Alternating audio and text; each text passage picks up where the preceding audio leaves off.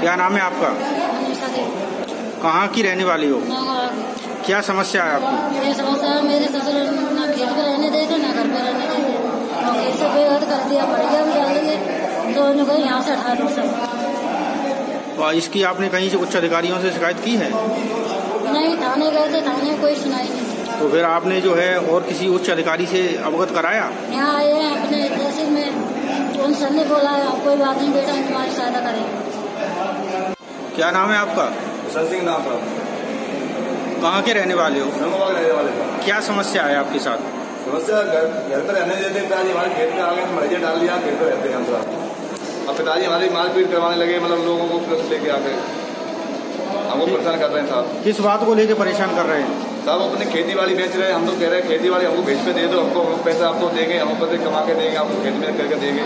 खेत हमको दे दे रहे हैं दूसरे को खेत देने को तैयार है हमको खेती दे रहे हैं हमारी बड़ी रहे हैं हमारे तो आपने इसकी शिकायत कहीं पुलिस में दर्ज कराई? साहब कराई दी साहब कोई सुनाई नहीं साहब हमारी। तो आपने जो है उच्च अधिकारियों को अवगत कराया? साहब हम वहाँ पे गए थे साहब वहाँ पे मतलब शिकायत लगाई तो उन्होंने उनके द्वारा क्या आश्वासन दिया गया? उन्हें ऐसे किया मतलब उनके कोई बात नहीं आपकी सहायता करी जाएगी आपकी मदद की जाएगी कोई बात नहीं।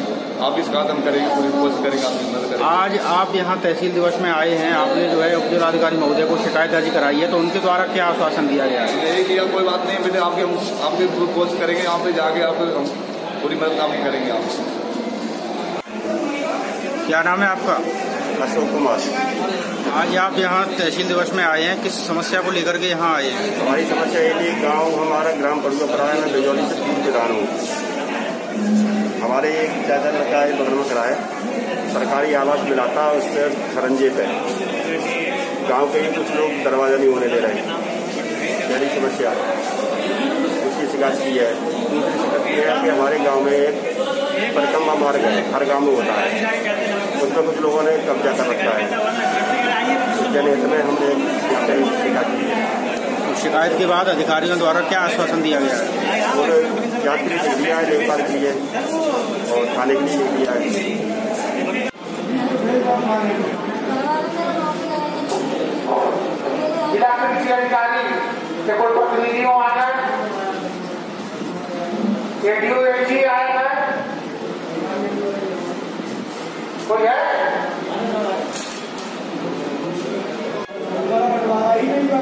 कोई है दस